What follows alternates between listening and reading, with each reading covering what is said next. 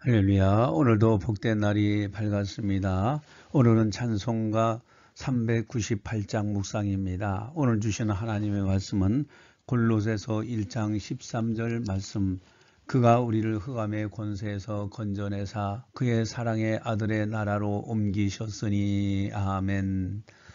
흑암의 권세에서 우리를 건져내셨다. 사랑의 아들의 나라로 우리를 옮기셨다. 참으로 구원받은 백성이라는 것은 놀라운 은총입니다. 이 땅에 살지만은 천국 백성으로 사는 것이고 하나님의 자녀로 살아가는 것입니다. 오늘도 어둠의 권세에서 인생을 건져 주신 주님을 늘 찬송하며 어, 오늘도 빛이 되시는 주님만을 따라갈 수 있는 아름다운 날이 다 되시기를 주님의 이름으로 간절히 축원합니다. 기도하시겠습니다. 사랑의 하나님 아버지 감사합니다. 오늘도 새날을 주신 좋으신 주님을 찬양합니다. 오늘도 우리 곁에서 우리를 도우시고 우리와 동행하시고 때마다 일마다 보살펴 주셔서 모든 일이 형통하며 특별히 병원에서 가정에서 치료받는 성도들의 육신의 질고를 치료해 주시사 남은 때 주로 하여 충성할 수 있는 거룩한 성도들 다 되게 하여 주시옵소서 감사하고 예수님의 이름으로 기도드리옵나이다. 아멘